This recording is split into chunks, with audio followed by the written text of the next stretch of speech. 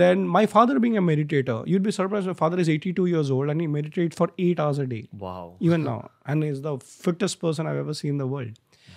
So father used to actually do a form of meditation. He's actually a Vipassana teacher. So I went and did a Vipassana course. Vipassana is where you have to follow a silence for Absolutely 10 10 days. days. But he does it for 45 days. Wow.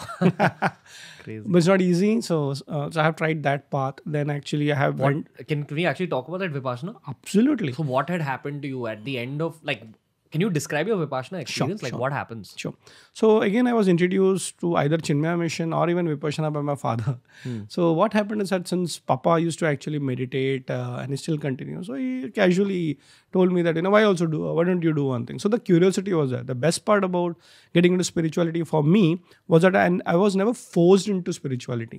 So he just took me casually to Chinmaya mission. I became a member. So he said, you know, you want to do it, do it. So he never told you know you have to do it.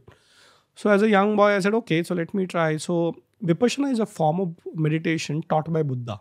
Hmm. And it said that basically a lot of these secrets of ours were stored in the purest form outside India.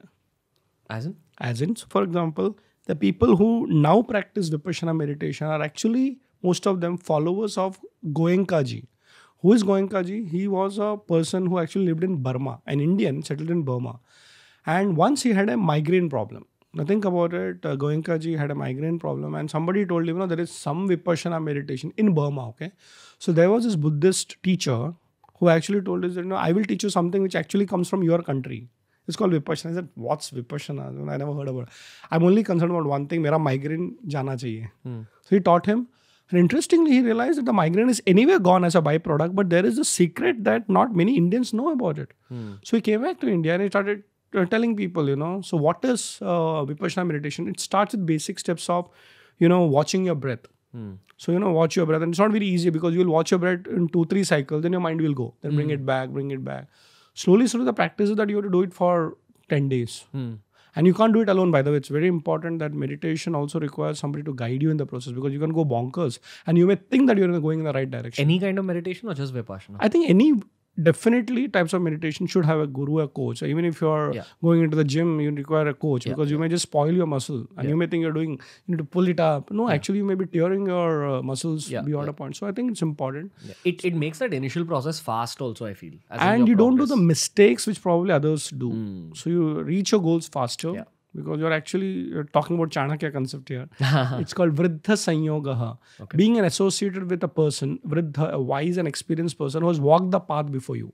So interestingly, what happened is that uh, when I did meditation, so I, I came to know that Goenkaji actually got trained under a guru. He came back to India and taught, uh, started teaching uh, this form of meditation. And today, Vipassana meditation is across the globe. There's a lot of centers in Igatpuri, in Bombay.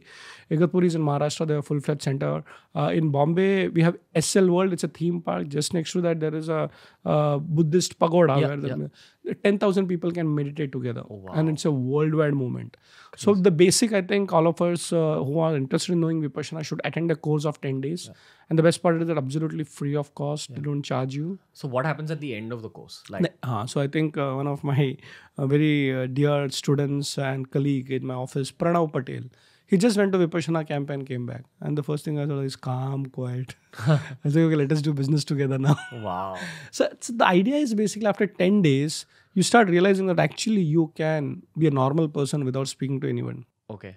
It. And you know, somewhere we, and especially, you know, till we don't speak it out, uh, we don't feel comfortable. Of course, human beings have to speak out. But the thing is that you can go within. So all the energy that is used to go outside is now getting used to go inside. And used for what?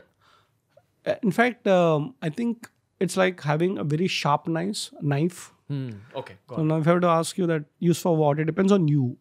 So if you're a surgeon, you'll use the same sharp knife to save somebody's life. So basically, if you waste a lot of your energy talking and thinking outwards and doing things outwards, you're blunting your knife. Is that like what you're saying? Absolutely. So you're using it. And so I think it's very important, coming back to the basic question of meditation,